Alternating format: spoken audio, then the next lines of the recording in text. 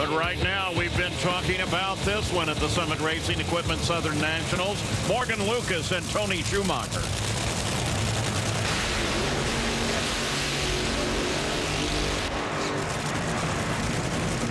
Morgan Lucas and Larry Dixon. Morgan Lucas won his very first race right here. Andy won the first race this season, and Larry Dixon has yet to win. Winner here will face Tony Schumacher, who's never won here.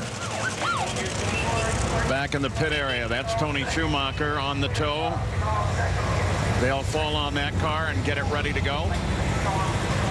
And we're about to find out who he will face in the second round. Boy, they get him back quick, too, don't they? Yep, and who will have lane choice. But setting up this match, we talked about Larry struggling in qualifying. Only one of three times he went down the racetrack. But you almost have to throw that all out because right now it's a different day. It's much cooler conditions.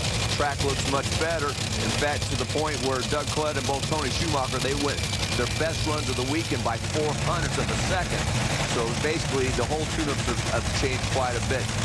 Morgan Lucas, he's just going to try to get a handle on this with, you know, Dickie Venables and try to really step this thing up. I mean, his best run uh, this weekend was a 396. We know the car is much more capable of that. And, you know, he may be liking this cool weather he can get hooked up and try to give Larry a race.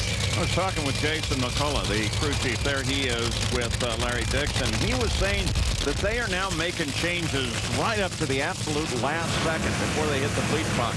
And the changes come from that man, Alan Johnson, who's got it all in his head.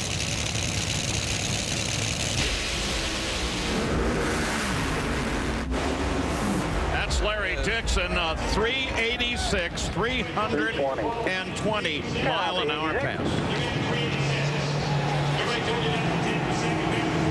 Listening to that Dixon radio there for a moment. Well, we talked about the better conditions, but both drivers matched their qualifying time, the 386 to a 396. Obviously, that uh, 86 is pretty much walked away from Morgan Lucas about half track, and that was the difference to advance uh, Larry Dixon to race Tony Schumacher, and Tony Schumacher will have the lane choice.